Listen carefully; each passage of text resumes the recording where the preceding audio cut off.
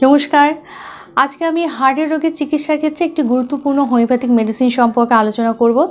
এই মেডিসিনটি হলো টার্মিনেলিয়া অর্জুনা। এই মেডিসিনটা সম্পর্কে বিস্তারিত আলোচনা থাকছে। তার আগে আজকে যারা নতুন দেখছেন এবং চ্যানেলটি এখনও সাবস্ক্রাইব করেননি, তারা অবশ্যই চ্যানেলটি সাবস্ক্রাইব করে সবাই সঙ্গে থাকুন।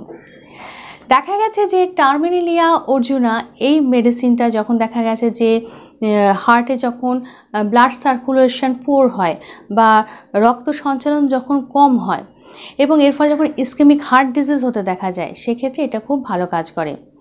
এটা হার্টের বিভিন্ন রোগ যেমন হার্টবিট বেড়ে যাওয়া বা হৃস্পন্দন বেড়ে যাওয়া এবং বুক ধরফর করা, বুকে ব্যথা হওয়া বা অ্যানজাইনা পেক্টোরিস হওয়া হার্টে ব্যথা হওয়া, হার্ট দুর্বল হয়ে যাওয়া এবং বেরি বেরি রোগ, অর্থাৎ যেটা ভিটামিন বি ওয়ানের অভাবে হয়ে থাকে এবং তার ফলে হার্ট আক্রান্ত হয়, সেই ক্ষেত্রে এই মেডিসিনটা খুব ভালো কাজ করে।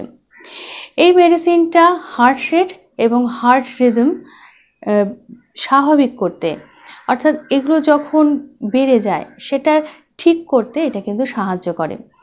এছাড়া এটা যখন হাই ব্লাড প্রেশার থাকে, সেটা কমাতেও কিন্তু সাহায্য করে।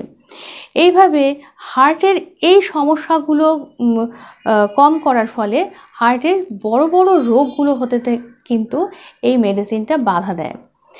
এছাড়া পড়ে যাওয়া, আঘাত লাগা, শরীরে ব্যথা হওয়া, কালশিটে পড়ে যাওয়া অস্থিভঙ্গ হওয়া, এইরকম বিভিন্ন সমস্যার ক্ষেত্রেও কিন্তু টার্মিনালিয়া অর্জুনা খুব ভালো কাজ করবে। এগুলোকে ঠিক করতে।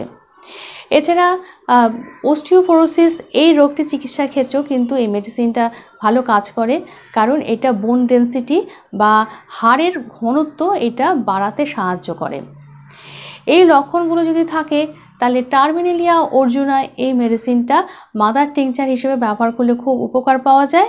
এটা এই মাদার টিংচারটি পনেরো থেকে কুড়ি ফোঁটা হাফ কাপ জলে ভালো করে মিশিয়ে দিনে দুই থেকে তিনবার প্রয়োগ করলে খুব উপকার পাওয়া যাবে এবং কিছুদিন এটা নিতে হবে।